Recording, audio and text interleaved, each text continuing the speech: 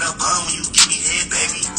Shots, pulling on your hair, baby. All I hear is daddy when I make you yell, baby. I can keep a secret, I don't kiss and tell, baby. There are three ways to artificially enlarge your buttocks. The first is with a solid silicone implant.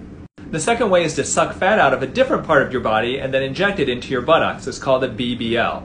And the third is to use one of the many muscle stimulating devices that can help give you a better six pack and a lifted and fuller butt. If she's happy with her results, that's the most important thing, but I don't recommend in general these types of extreme changes because of the high risk of complications.